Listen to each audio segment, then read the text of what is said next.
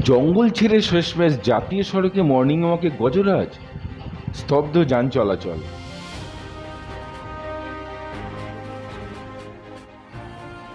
সকাল সকাল ছ নম্বর জাতীয় সড়কে চেকিং কখনো রাস্তায় তো কখনো টোল ট্যাক্সে চেকিং দেখতে উৎসাহী লোকের ভিড় থাকলেও যে গাড়ি চেকিং হচ্ছে, তার আত্মারাম খাঁচা ছাড়া। না, কোনো সরকারি চেকিং নয়। দলমার দমালের চেকিং। আর তার জন্যেই প্রায় এক ঘণ্টা অবরুদ্ধ জাতীয় সড়ক।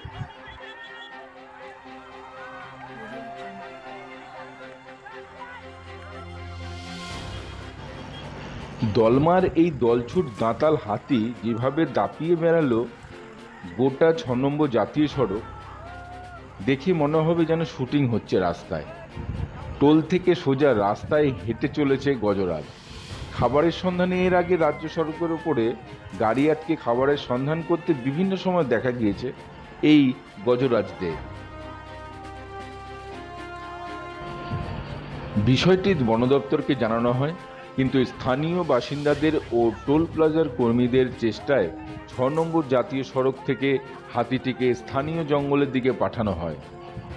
তবে যেভাবে প্রকাশ্য দিবালকে সাত সকালে এই দাঁতাল হাতি টোল প্লাজায় হানা দিয়েছে, তাতেই যথেষ্ট আতঙ্কের মধ্যে রয়েছেন ওই টোল প্লাজার কর্মীরা। তবে হাতিটি কোনো ক্ষয়ক্ষতি করতে পারেনি।